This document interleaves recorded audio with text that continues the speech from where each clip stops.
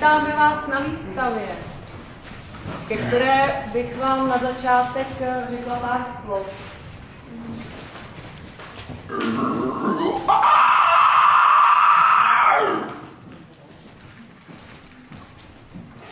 Vznik díla spadá do období mezi 13. a 23. stoletím.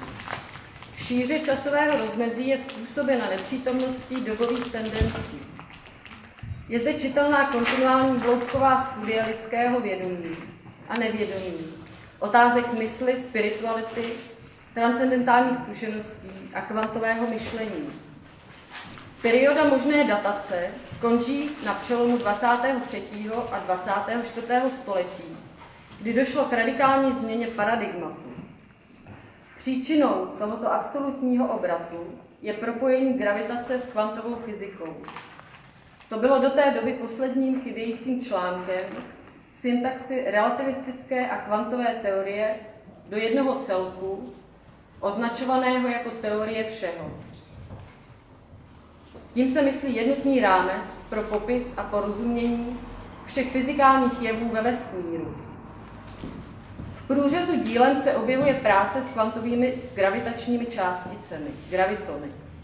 Je tedy možné se domnívat, že entita, která dílo vytvořila, operovala znalostí problematiky kvantové mechaniky. Vzhledem k používání archetypů a mytologických obrazů na emocionální úrovni je však více pravděpodobné, že dílo pochází od lidské bytosti, nenutně expertující na poli subatomárních částic, za to s vyvinutou intuicí a důvěrou v ní. Používání archetypů v umění není výlučně vázáno na konkrétní časové období. Symboly obsažené v díle jsou univerzální povahy. Ani ty tedy neposkytují klíč k možné dataci. Dílo je možné číst i z kontextu rituálního léčení.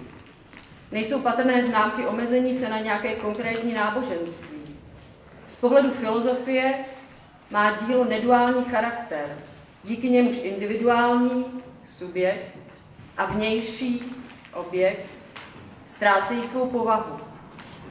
Je zřejmé neustálé rozrůstání memetického spektra a sledování kauzálního řetězce, který nabízí vhled do toho, co tvoří kvintesenci kultury lidstva. Dílo umožňuje divákům ponořit se do introspekce a nalézt vlastní odpovědi. Prostřednictvím pozorování se může aktivovat a materializovat potenciál, který se skrývá v kvantovém systému. Dílo se doporučuje k hloubkové analýze. Je evidentní, že bude přínosem pro studium kulturní paměti lidstva a kognitivních věd.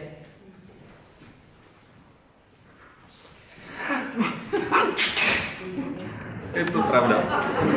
Takže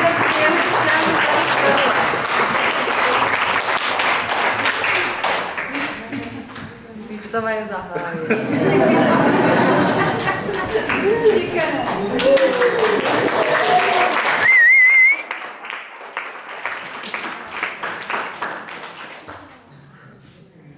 No.